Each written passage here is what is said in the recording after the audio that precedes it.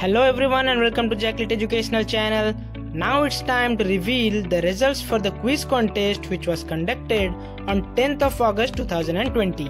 So this Monday quiz contest is conducted every week and those who are new you can check these are the rules for the quiz contest by pausing the video. So let's discuss the questions first.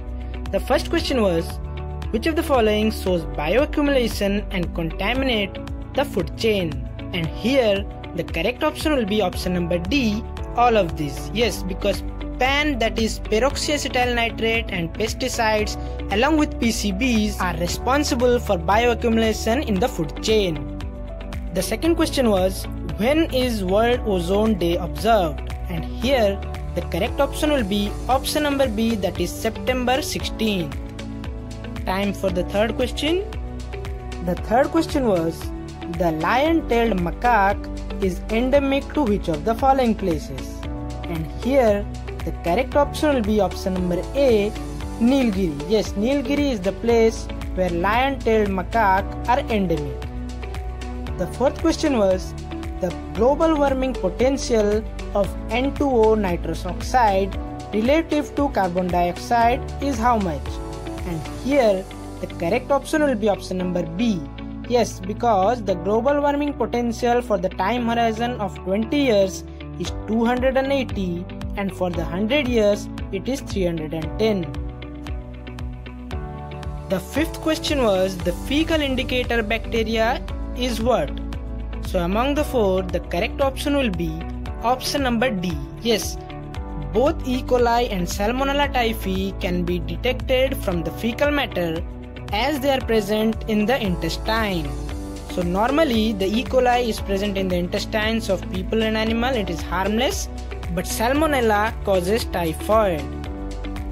The sixth question was the population change is calculated using which of the following formulas? And here both the options are correct as option number A and option number C are repeated because birth plus immigration altogether subtracted from the death and immigration number gives the population change of any area. The seventh question was related to rainwater harvesting system and the component which is not a component of rainwater harvesting system will be option number D none of these because catchment is the surface which directly receives the rainfall and gutter are the channels all around the edge of a sloping roof to collect the rainwater and conduits are the pipelines or drainage that carry the rainwater from catchment area to the harvesting system.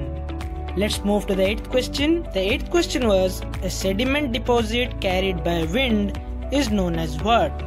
And here the correct option will be option number C, aeolian.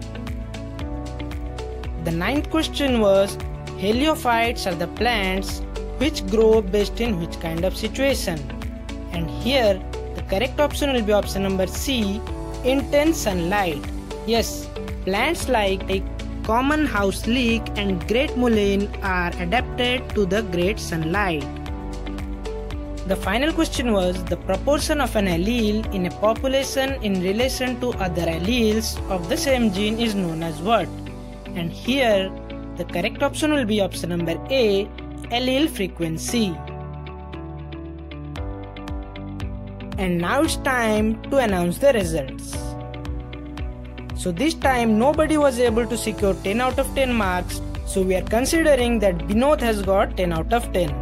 So other participants who have done well are Falguni Mahanti, Sabnam Kamboj, D. Panikar, Deepsika Gupta, Tanzila Latif, Aditi Rana, Chanchal Kumari, Somya Das, Shreya Kumari, Pratishtha Roy, Sanjit Kumar Sahu, Fiza Kalra, Asma Parvez, Rahul Kumar, Aishwarya Boyakar and Khadija Samreen.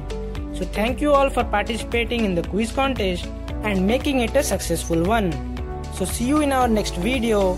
Till then take care, like the video and if you haven't subscribed then subscribe the channel and hit the bell icon.